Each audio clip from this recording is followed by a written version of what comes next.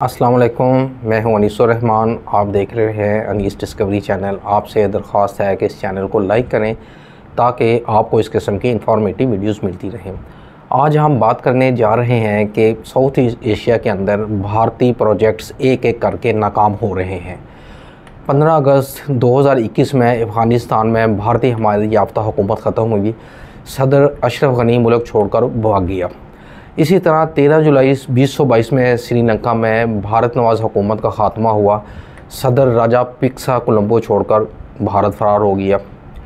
سترہ نومبر بیس سو تیئیس میں مالدیپ میں بھارت مخالف صدر محمد معیز کا حکومت میں قیام، جس نے جنوری بیس سو چوبیس میں مودی سرکار کو سل عام ذریع و رسوا کیا۔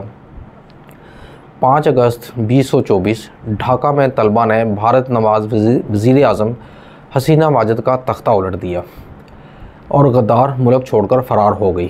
نیپال اور برما ویسے ہی بھارت حکومت کے سخت مخالف ہیں۔ سارک ممالک میں بھارت نواز تمام حکومتیں پلٹ چکی ہیں۔ یہ سب کچھ اس لیے ہو رہا ہے کہ بھارت بیسیکلی ایک دہشت گرد کنٹری ہے، جو کہ اس خطے میں اپنی بدماشی اور اپنی ہیجیمونی قائم کرنے کے لیے انویسٹمنٹ کرتا ہے اور اپنی مرضی کی حکومتیں پلانٹ کرواتا ہے۔ لیکن پاکستان کی بہادر اور غیور آرمی کی وجہ سے پاکستان کی طرف وہ دیکھنے کی جرت بھی نہیں کر سکتا۔ اس کو پتہ ہے کہ Pakistan army is professionally well equipped with modern technologies اور وہ پاکستان کی طرف بالکل آنکھ اٹھا کر نہیں دیکھ رہا اور وہ انڈر ہینڈ ساشے کرنے کی پلاننگ کر رہا ہے۔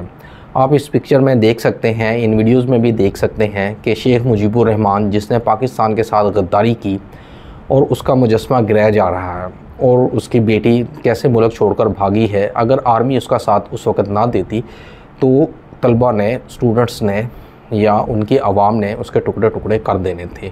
اور پاکستان اس وقت اپنی بہادر افواج کی وجہ سے ہی پوری دنیا میں سر اٹھا کر جی رہا ہے۔ خدا حافظ۔